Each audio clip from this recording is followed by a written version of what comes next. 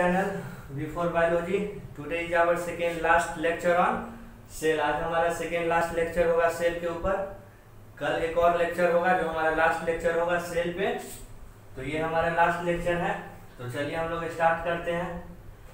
इससे पहले हम लोग ने आज हमारा दसवां लेक्चर होगा। इससे पहले हम लोग ने नाइन्थ लेक्चर कंप्लीट कर चुके हैं सेल के ऊपर। और आज हमारा दसवां लेक्चर है। तो हम लोग स्टार्ट करते हैं सेल तो आज का टॉपिक है वैक्यूल्स, लाइनोजोम एंड राइबोसोम ये तीन चार सेल ऑर्गेनल है जो आज इस टॉपिक में हम लोग पढ़ेंगे। तो स्टार्ट करते हैं। वैक्यूल्स। ये एक सेल ऑर्गेनल है।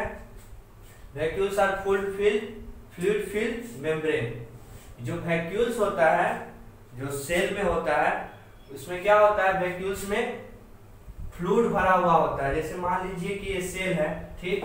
और सेल के प्लांट सेल में हम लोग जानते हैं कि वैक्यूल्स कहाँ होता है प्रेजेंट सेंटर में होता है, ठीक? और इसमें क्या होता है? फ्लूड भरा हुआ होता है।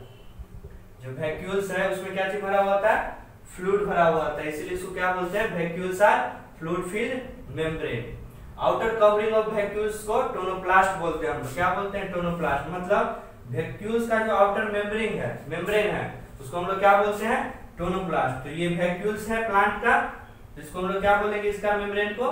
Tonoplast liquid inside vacuole cell sap मतलब वैक्यूल्स के अंदर जो लिक्विड होता है, उसको हम लोग क्या बोलते हैं? सेल सेप बोलते हैं। And plant present in center हम बताए हैं कि प्लांट में जो वैक्यूल्स होता है, वो सेंटर में प्रेजेंट होता है और एनिमल्स में होता है तो छोटा छोटा होता है, वरना नहीं होता है। इसका फ़ंक्शन क्या है? टर्जिडिटी एंड रिजिडिटी टर्जिडिटी और रिजिडिटी प्रोवाइड करता है स्ट्रेंथ प्रोवाइड करता है। स्टोरेज फ़ूड को स्टोर करने में मदद करता है। ऑस्मो रेगुलेशन सबसे मेन फ़ंक्शन इसका क्या चीज़ है? ऑस्मो रेगुलेशन वैक्यूल्स क्या चीज़ करता है कि सेल के अंदर मेंटेन करता है क्या चीज़ को? वाटर बैलेंस को। मेंटेनिंग वाटर बैलेंस उसको हम लोग क्या बोलते हैं? ऑस्मो रेगुलेशन तो ये याद कर लीजिएगा डेफिनेशन एक नंबर में पूछता है कि ऑस्मो रेगुलेशन हम लोग किसको बोलते हैं?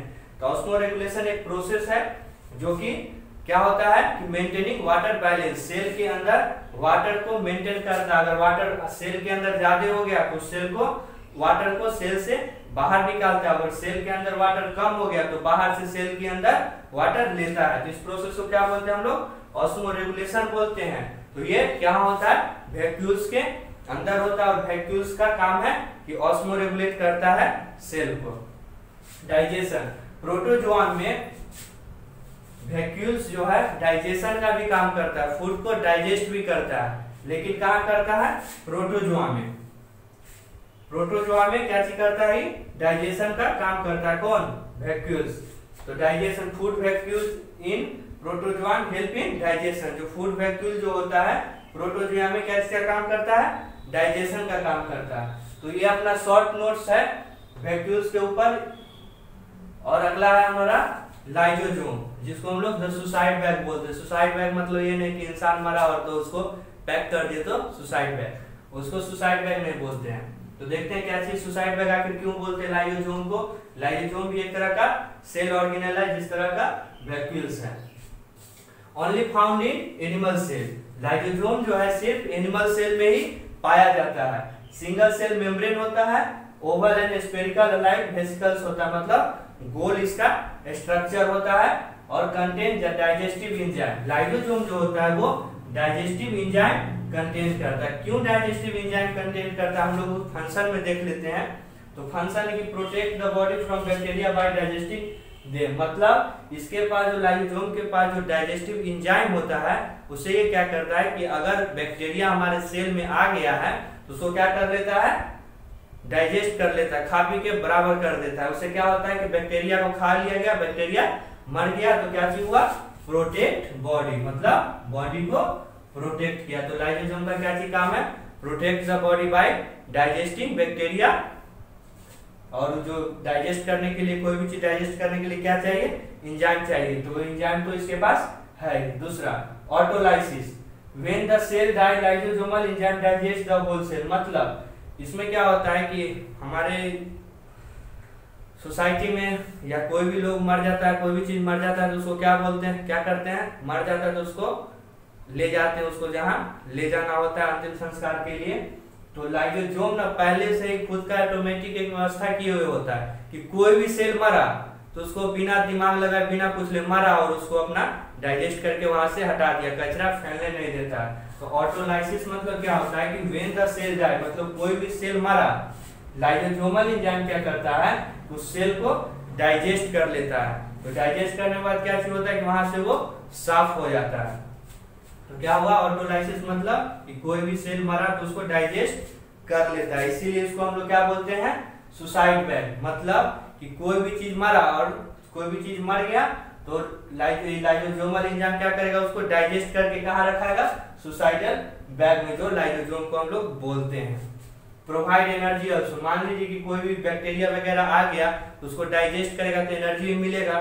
तो एनर्जी भी प्रोवाइड कर देता है थोड़ा बहुत। ऑटोफेजी डाइजेस्ट स्टोर फ़ूड मतलब जो फ़ूड इसके अंदर स्टोर होता है, उसको ही डाइजेस्ट करता है। जो फ़ूड इसके पास होता है, उसको डाइजेस्ट करके स्टोर करता है। लेकिन जब इसको भूख लगता है, अकाल जब पड़ता है ना इसको तो ये क्या करेगा ना कि जो जो भी ज़िंदा में सेल ऑर्गेनल होगा, उसको भी खा जाएगा।